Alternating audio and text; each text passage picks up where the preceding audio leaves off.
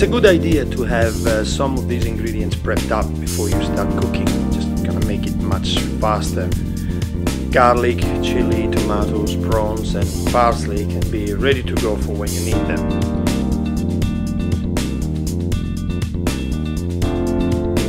My recommendation for uh, this type of sauce is uh, long form pasta such as spaghetti, linguini, tagliolini, tagliatelle.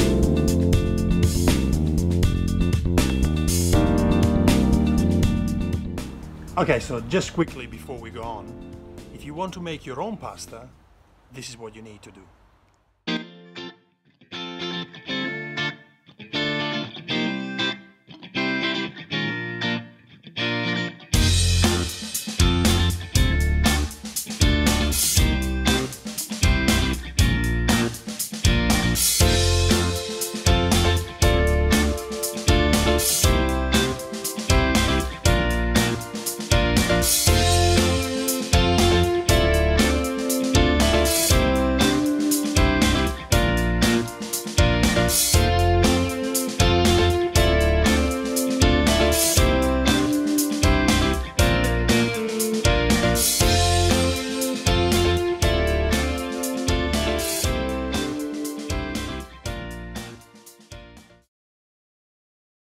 That will add about 30 minutes into your schedule.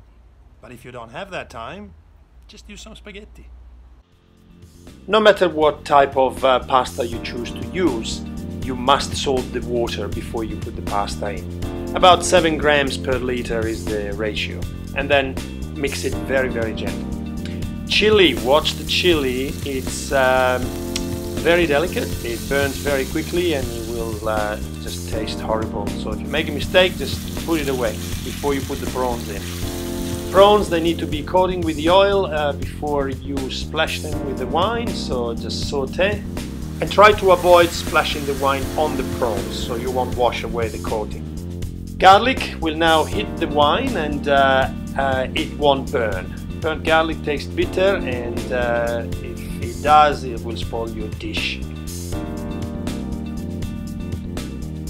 Now, tomato, salt and pepper should be the last uh, ingredients and uh, then let it simmer for a while. You should be on a low heat by now, just simmering. When you drain the pasta, please do not wash it. You will wash away part of the flavor. Let it drain, bring it back to the sauce and uh, still with a low flame underneath and try to just uh, mix pasta and sauce together very well. And if you need some uh, extra virgin olive oil, do it. And no matter what type of pasta we choose to use for the sauce, it always seems to be successful.